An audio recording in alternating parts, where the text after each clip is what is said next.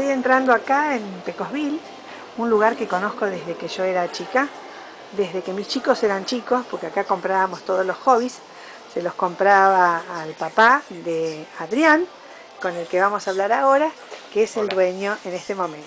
Hola Adrián, contanos un poquito la historia de este lugar. ¿Cómo te va? Bien, perfecto. ¿Qué te puedo contar? Sí, ¿cuánto hace que están aquí, por ejemplo? de 1956. De 1956. ¿Y cómo es la historia? Y la historia es, empezó con una juguetería que puso papá. Y bueno, fueron pasando los años, continué yo con esto. Este, fue transformándose, ¿no? Primero vendíamos juguetes eh, de otra índole y ahora fuimos afinando y convirtiéndolo más en juguetes tipo hobbies, más específicos. Claro. Como aeromodelismo, todas esas cosas. Ferromodelismo. Genial. Y me decías que tenías unos eh, puzzles, rompecabezas, como se Puzzles, sí. Son rompecabezas de muchas piezas, desde mil piezas, va, hay desde infantiles, de 100 piezas, 200, sí.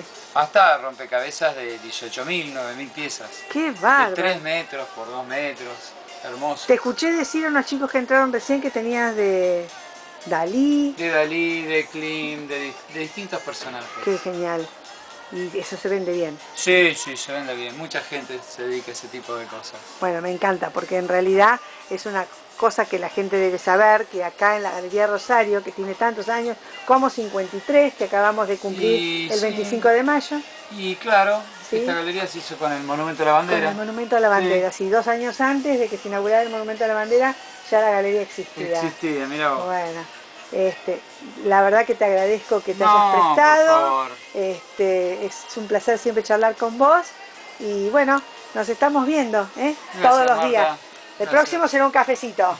chao, chao. Un beso, Adrián. Muchas gracias. De nada. Chao.